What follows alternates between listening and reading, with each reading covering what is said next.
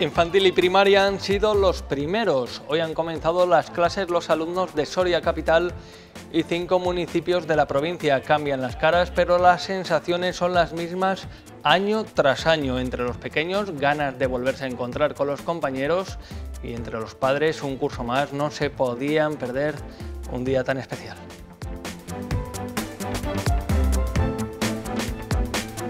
Decimos previsión porque todavía no está eh, cerrado, es eh, que se cierre la unidad que existía en Santa María de eh, Huerta, tenía pocos alumnos y se integrará en el centro rural agrupado de El Jalón. Septiembre significa vuelta a la rutina también para los más pequeños de la casa. Después iremos a uno de esos centros educativos que han vuelto a abrir sus puertas tras el verano. Antes destacamos otras noticias en nuestro sumario.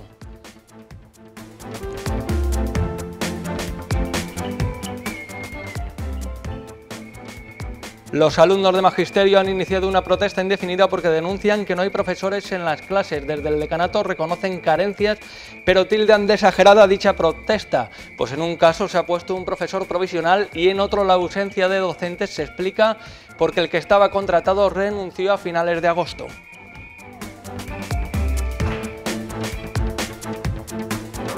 El Pleno del Ayuntamiento ha aprobado la primera oferta de empleo público realizada por el consistorio en 10 años. Salen 11 plazas entre policía local y bomberos. El punto ha ido por unanimidad, aunque la oposición ha acusado al equipo de gobierno de mala planificación en materia de personal y de tener un número exagerado de interinos.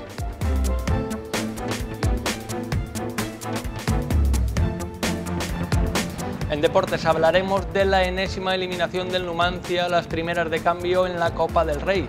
Ayer perdió ante el Nastic de Tarragona por un gol a cero que los catalanes marcaron en la prórroga. El equipo soriano dio la cara, tuvo oportunidades, pero es evidente que tiene la pólvora mojada.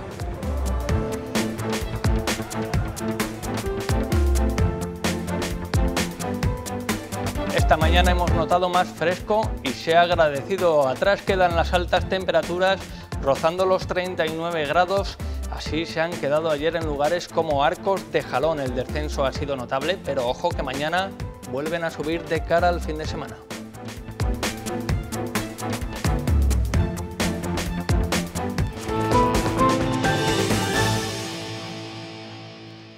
Arrancamos, comienza el curso escolar y lo hace con lo que podrían considerarse buenos datos. La provincia de Soria Pese a la constante pérdida de población, consigue este año mantener estable el número de alumnos. Según los datos provisionales de matrícula, estudiarán enseñanzas generales 12.500 alumnos y enseñanzas especiales y para adultos 3.472. Además, se van a abrir dos unidades educativas en Fuente el Fresno que rondarán los 18 alumnos. Aunque también hay malas noticias, podría cerrar la escuela de Santa María de Huerta al no alcanzar el número mínimo de matriculaciones.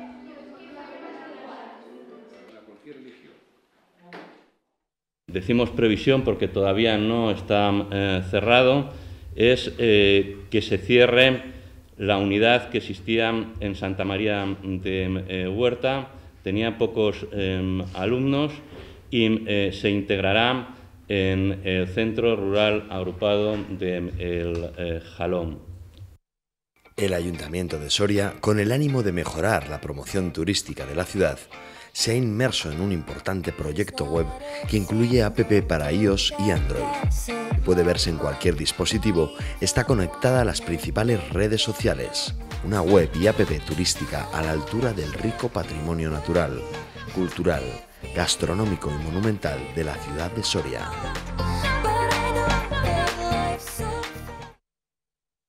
Los más pequeños ya han vivido su primer día de clase. Hoy comenzaba el curso escolar para los alumnos de educación infantil y primaria en Soria y otros cinco municipios de la provincia. Nervios, emoción y ganas por volver a ver a los compañeros y amigos. Allí ha estado nuestra compañera Encarna Muñoz. Los niños sorianos han sido los primeros en iniciar las clases de todo Castilla y León. Además de en Soria Capital, también han comenzado en Olvega, Duruelo de la Sierra, Agreda, Golmayo y Arcos de Jalón.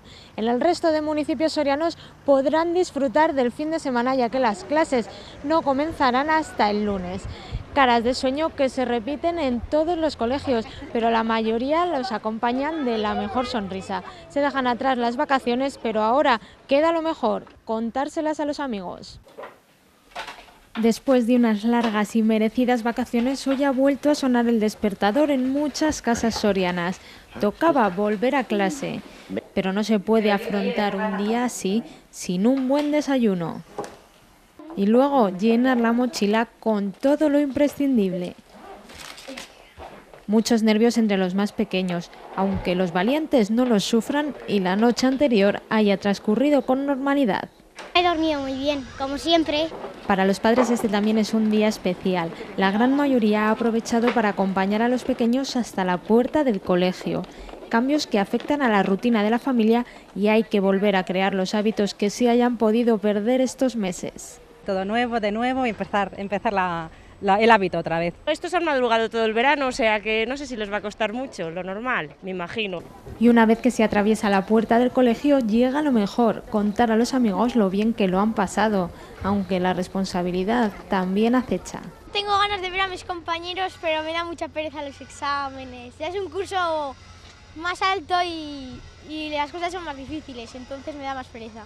Pero aún queda tiempo para los temidos primeros exámenes. De momento, ir cogiendo ritmo. Parece que lo más difícil se ha conseguido, lograr que estén sentados y concentrados. Los alumnos de Magisterio han iniciado una protesta indefinida porque aseguran que no hay profesores en este inicio de curso en varias asignaturas de tercero de educación infantil. Desde primera hora de la mañana se han manifestado por el campus mediante una sonora pitada. Desde el decanato reconocen carencias, pero también califican de exagerada la medida. Los alumnos de tercero de educación infantil del campus de Soria están en pie de guerra. Denuncian que desde que comenzaron las clases el lunes, en música y psicología no hay profesores. Las clases terminan el 21 de octubre y quieren dar dos asignaturas de seis créditos en un mes, lo que no es posible para nosotros. Desgraciadamente no es una situación nueva. Ha pasado varios años, el año pasado también nos pasó en, en una asignatura y los que este año están en cuarto, que el año pasado estaban en nuestro curso, estuvieron en la misma situación. Desde el otro lado se reconoce que hay carencias, pero matizan que en el caso de música sí se ha puesto un profesor provisional que los alumnos no aceptan y en psicología el problema es que el profesor contratado renunció el pasado 29 de agosto por lo que ha tenido que comenzar de nuevo el proceso. Esto no es una empresa privada. Estamos sometidos a una serie de, de condicionantes eh, o de condiciones para contratar a una persona para que todo sea un proceso justo, limpio, legal. De la Fuente subraya que los alumnos no han querido escuchar sus argumentos. Mañana mismo tiene una reunión para solucionar el problema con psicología. El tema de música ya está en proceso de normalizarse. Los estudiantes tienen todos los derechos a quejarse. Y yo no voy a decir que no tengan derecho a quejarse, al contrario. Si las cosas no están bien o no se han hecho las cosas como ellos piensan que, que se debe, tienen toda la razón en quejarse. Y yo, lo, yo tengo que apoyar, digamos, esa queja. Otra cosa es que yo creo que es un poco indebido el asunto, que digamos que ha sido como un poco exagerado. Los alumnos mantendrán la protesta hasta que se solucione el problema.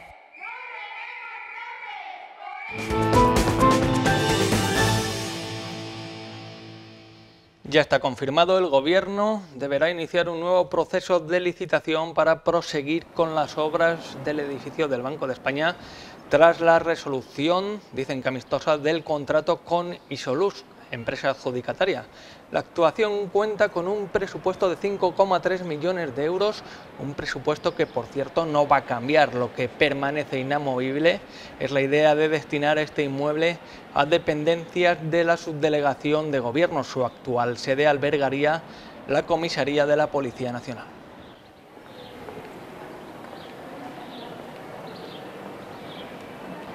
El Pleno del Ayuntamiento de Soria ha aprobado la primera oferta de empleo público realizada por el consistorio en los últimos 10 años. Se sacan 11 plazas de diferentes categorías para policía local y bomberos.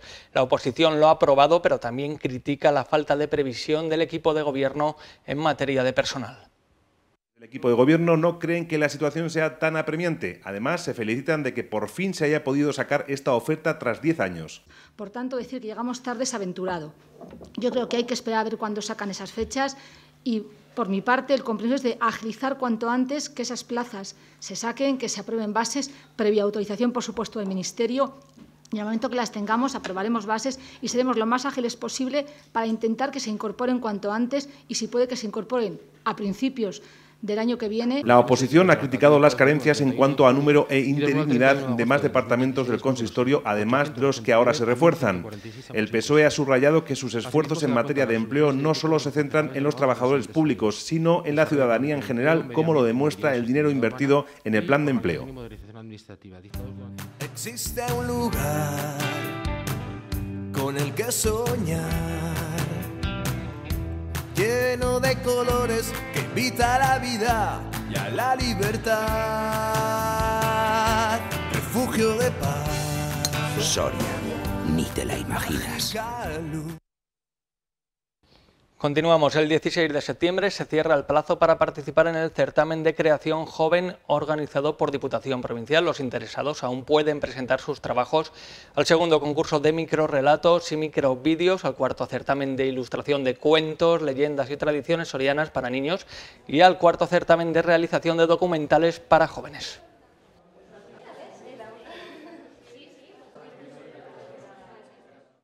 Seguimos en la provincia y hablando de cultura, balance positivo del segundo ciclo Jóvenes Músicos Sorianos. Unas 3.000 personas han asistido a los conciertos de este ciclo organizado por la Diputación Provincial, una cita compuesta por 28 conciertos en 26 localidades de la provincia. Son muchos los ayuntamientos que han pedido repetir la experiencia. Antes, la institución provincial desarrollará una nueva serie de conciertos entre los meses de noviembre y diciembre, como ya se hiciera el pasado año, para seguir acercando la oferta cultural a los diferentes municipios de la provincia, garantizando así a todos los ciudadanos del medio rural el acceso a la cultura.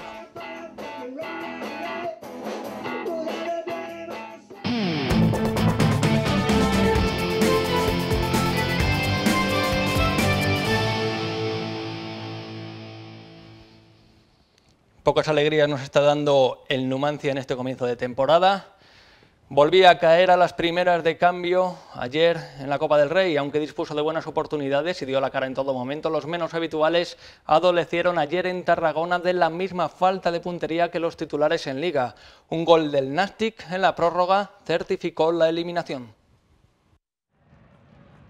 La Copa del Rey de esta temporada ya es historia para el Numancia. Otra vez se esfuma el sueño a las primeras de cambio. Ayer en Tarragona el equipo dio la cara y tuvo oportunidades como esta de Nacho, pero la falta de puntería, la mala suerte o el acierto del rival evitaron la victoria. Los sorianos forzaron la prórroga. En un balón suelto, José Carlos lograba el único tanto del partido de buena volea. El equipo soriano lo intentó hasta el final con más argumentos a favor tras la expulsión del local Valentín. Acuña tuvo en sus botas el empate, porfía bien por la pelota, pero quizás se precipita en el disparo a portería. En un intento desesperado, el propio cancerbero Aitor Fernández a punto estuvo de equilibrar el choque en el último suspiro. Ahora toca centrarse en Liga, cuyo próximo compromiso es en Reus el sábado desde las 6 de la tarde. Del resto de los partidos de Copa disputados ayer, por lo que se refiere a enfrentamientos directos entre equipos de segunda, destaca la victoria y pase del Valladolid en la Romareda. 1 a 2 vencieron los pucelanos se adelantó Michel para los castellanos, el 0 a 2, llegó en propia puerta. Eh, Popa redujo distancia para los locales. Finalmente en el Ramón de Carranza, el Cádiz pasaba por penaltis tras empatar a uno con el Levante. Huiza marcó para los amarillos en la primera parte. El del Levante, obra de Roger en el 71. Y al Reus, próximo rival del Numancia, le pasó lo mismo que a los orianos. Perdieron a domicilio, en este caso en Mallorca, con un gol encajado en la prórroga.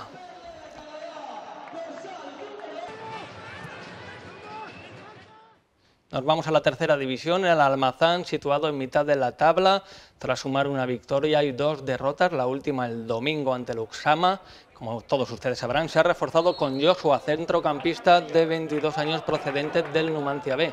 También se incorpora al grupo Culebras, por lo que Ruta va teniendo poco a poco sus efectivos disponibles a la espera de futbolistas como Diego Antón o la recuperación de Huete. Los de Almazán tienen un difícil compromiso el domingo desde las 5 de la tarde ante el Real Ávila en el Adolfo Suárez. Una hora más tarde comenzará el Uxama Cebrereña en el Municipal del Burgo de Osma. El día anterior el San José visitará al Mirandés B desde las 6 a las 5 un más que interesante Numancia B Unionistas de Salamanca, tercero contra primero del grupo octavo.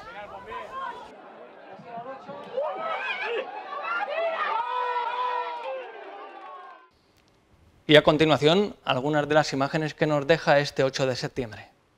El Día de Soria. Por tan solo 2 euros, llévate El Día de Soria, la revista femenina mía, el suplemento magazine y el periódico deportivo AS. La oferta editorial más completa del momento. Todos los domingos en tu kiosco. Recuerda, cada domingo, El Día de Soria, tu periódico.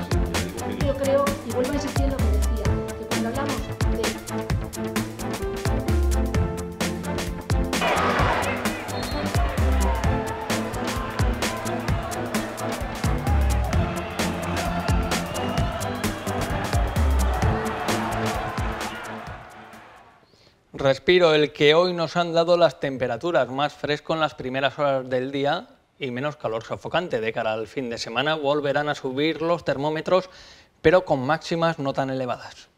Detrás de cada iniciativa, de cada ilusión, de cada momento, en la ciudad, en tu pueblo, en tu empresa, en tu negocio, en tu día a día, poniendo lo mejor de nosotros mismos, hemos conseguido grandes retos. Apostamos por lo que tenemos nos mostramos como somos. Confiemos en nosotros mismos. Caja Rural de Soria. Juntos hacemos un gran equipo.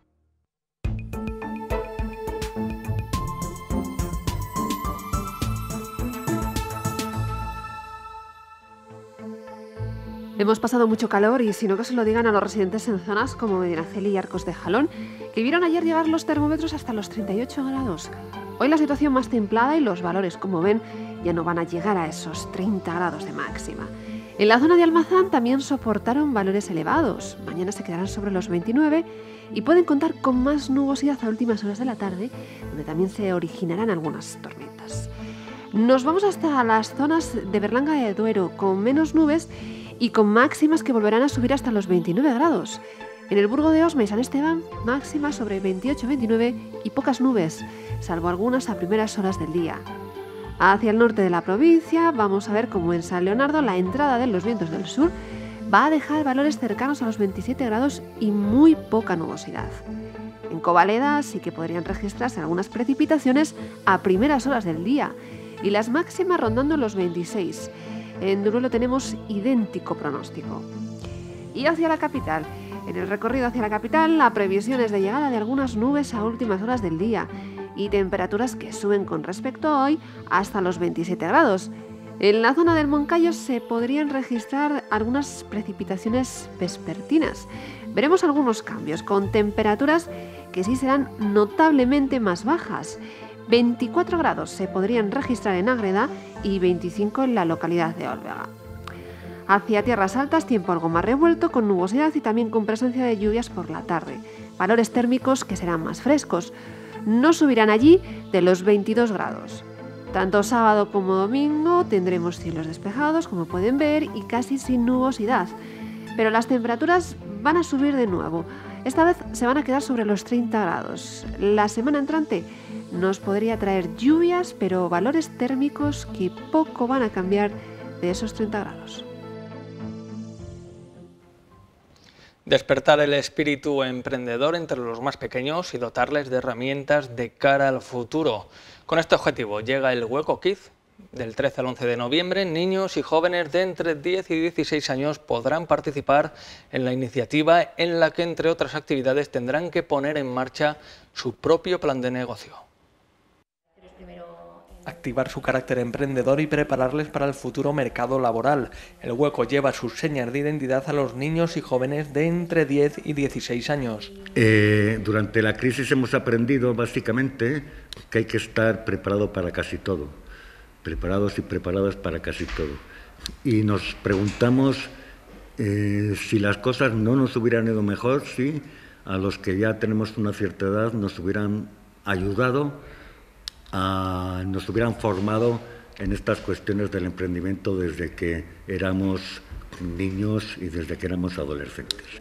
Los participantes formarán parte en diferentes talleres, crearán un plan de negocio y recibirán la visita de emprendedores que han recorrido el mismo camino en el que ellos inician.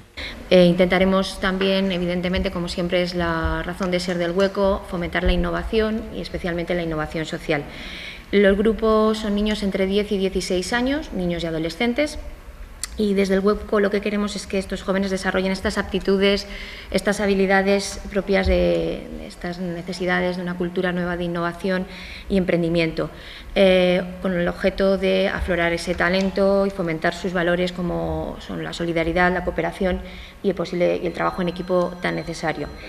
El proyecto se desarrollará entre los días 13 y 11 de noviembre con un coste de 190 euros. Cuenta con el respaldo de la Fundación Princesa de Girona. Vamos acabando. La joven Orquesta Sinfónica de Soria prepara ya el concierto que estrena el próximo domingo. Actuarán dentro del Otoño Musical Soriano, que este año cumple su edición número 24. En el ensayo de ayer, la agrupación soriana tuvo la oportunidad de disfrutar de la presencia de Kuzma Bodrok, compositor del concierto para violín y orquesta, una de las obras que interpretarán en esta cita. Tocarán junto con el solista ruso Nikita Borisovsky, una eminencia en su ámbito y a quien fue dedicada esta pieza.